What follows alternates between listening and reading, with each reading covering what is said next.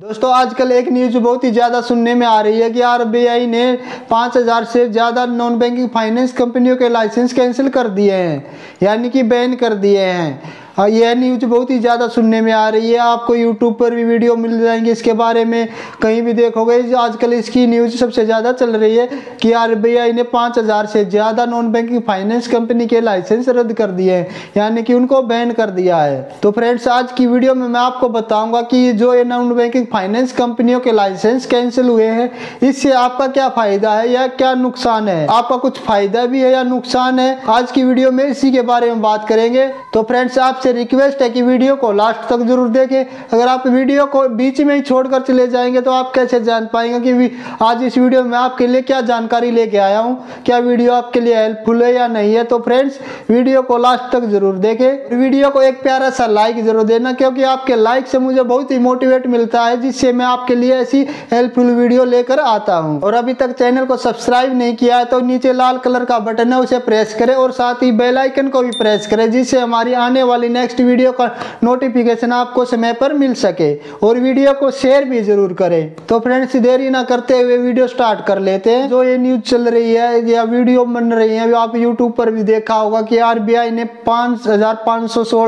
Non banking finance कंपनियों के licence रद्द कर दिए उनको बैन कर दिया बिल्कुल ही बैन कर दिया। अब उनसे लोन नहीं मिल पाएगा। तो फ्रेंड्स क्या आप जानते हैं कौन सी नॉन बैंकिंग फाइनेंस कंपनी है? इनके बैन होने से बंद होने से आपको को, कोई भी नुकसान नहीं है और ना ही कोई फ़ायदा है।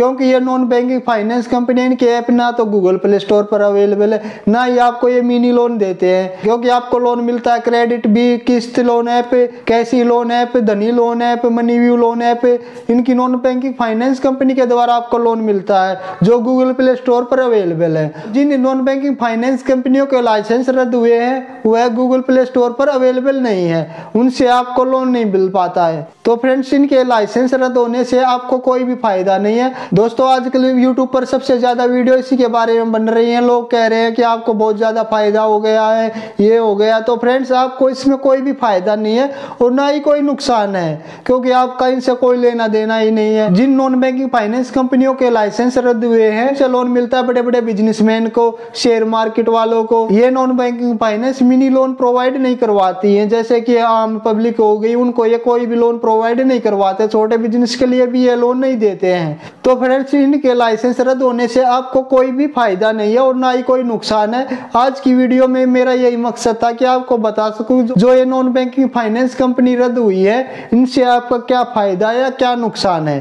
तो फ्रेंड्स मुझे उम्मीद है कि आप समझ चुके होंगे कि इन नॉन बैंकिंग फाइनेंस कंपनी के लाइसेंस रद्द होने से आपको कोई भी फ़ायदा नहीं है ये और ना ही कोई नुकसान है। तो फ्रेंड्स आज की वीडियो में बस इतना ही। मुझे उम्मीद है कि वीडियो में दी जानकारी आपके काम आएगी। वीडियो आपके लिए बहुत ही हेल्पफुल रही होगी। तो फ्रेंड्स, वीडियो को एक प्यारा सा लाइक और चैनल को अभी तक सब्सक्राइब नहीं किया तो सब्सक्राइब भी ज़रूर करें और वीडियो को शेयर भी ज़रूर करें।